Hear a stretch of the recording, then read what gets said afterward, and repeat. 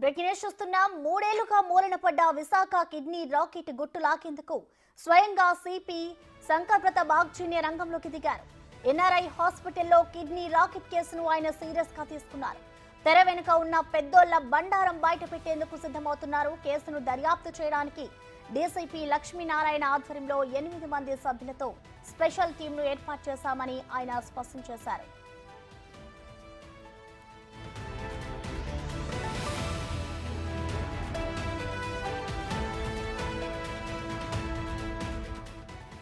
NRI ఆసుపత్రిపై ఆరోపణలు ఉన్న గత ప్రభుత్వ హయాంలో పోలీసులు పట్టించుకోలేదని బాధితులు అంటున్నారు. ప్రభుత్వం మారడంతో మూడేళ్ళ తర్వాత బాధితులు న్యాయం కోసం రోడ్డెక్కడంతో కేసు దుమ్ము దులిపేందుకు పోలీసులు సిద్ధమయ్యారు. న్యాయం చేయాలని ద్వారకానగర్ పిఎస్లో బాధితులు వెంకట సత్యనారాయణ గోపి మళ్ళీ ఫిర్యాదు చేశారు.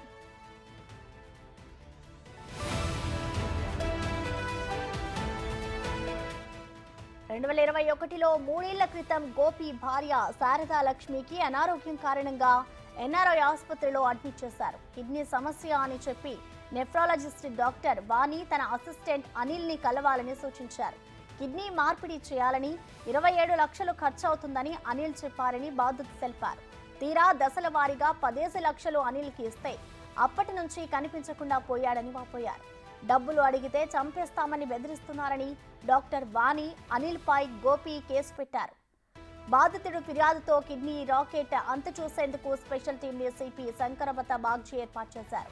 ఇప్పటికే రంగంలోకి దిగిన పోలీసులు ఎన్ఆర్ఐ హాస్పిటల్ యాజమాన్యం డాక్టర్ వాణి అనిల్ని విచారించేందుకు రెడీ అవుతున్నారు.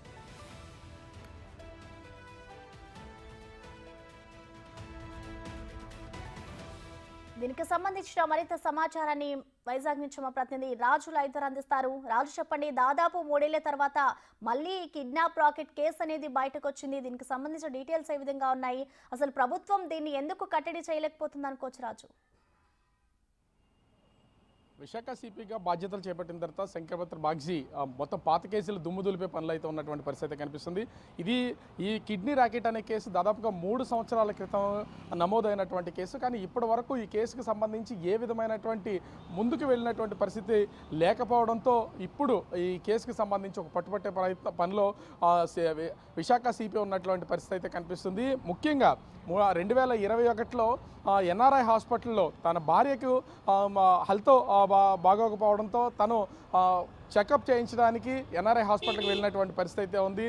అంటే వెంకట సత్యనారాయణ గోపి అనే వ్యక్తి తన భార్య శారదా లక్ష్మిని ఇద్దరు హాస్పిటల్లో చూపించిన తర్వాత ఆ నెఫ్రాలజిస్టు డాక్టర్ ఆ, శారద మొత్తం చెక్ చేసిన తర్వాత ఈ కిడ్నీ మార్పిడి చేయాలి తన అసిస్టెంట్ అనిల్ని కలవాలని సూచించినటువంటి పరిస్థితి అయితే ఉంది. అనిల్ని కలిసిన తర్వాత ఆ కిడ్నీ మార్పిడి చేయడానికి మా దగ్గర మనుషులు ఉన్నారు కిడ్నీ కూడా అందుబాటులో ఉంది. ఇరవై ఏడు లక్షల రూపాయలు ఖర్చు అవుతుంది అని చెప్పడంతో ముందుగా దశల వారీగా పది లక్షలు అయితే చెల్లించడం అయితే జరిగింది. పది లక్షలు తీసుకున్న తర్వాత ఒక్కసారి కూడా కన్నెత్తి చూడపోవడం ఎన్నిసార్లు అడిగినా సమాధానం చెప్పకపోవడంతో ఆ, సత్యనారాయణ గోపి తర్వాత తన భార్యను వేరే హాస్పిటల్లో ట్రీట్మెంట్ చేయించుకున్నటువంటి పరిస్థితి అయితే ఉంది. అయితే అప్పటి నుంచి ఇప్పటి వరకు పోలీసుల చుట్టూ తిరుగుతున్న హాస్పిటల్లో ఉన్నటువంటి అనిల్ కానీ డాక్టర్ యూనియన్ కానీ ఆ హాస్పిటల్ యాజమాన్యాన్ని కానీ వాళ్ళ చుట్టూ తిరుగుతున్నా కూడా ఇప్పటి వరకు వాళ్ళకి ఏ విధమైనటువంటి రిప్లై రాకపోవడంతో విసిగి వేసారిపోయినటువంటి పరిస్థితి ఉంది. గత ప్రభుత్వ హయాంలో ఏ విధమైనటువంటి న్యాయం జరగకపోవడంతో సత్యనారాయణ గోపి కొత్తగా సిపిగా బాధ్యతలు తీసుకున్నటువంటి శంఖపత్ర బాగ్జీ కలవడం ఆయన కలిసిన తర్వాత ఈ ద్వారకా పోలీస్ స్టేషన్లో కేసు అయితే నమోదు చేసినటువంటి పరిస్థితి ఉంది.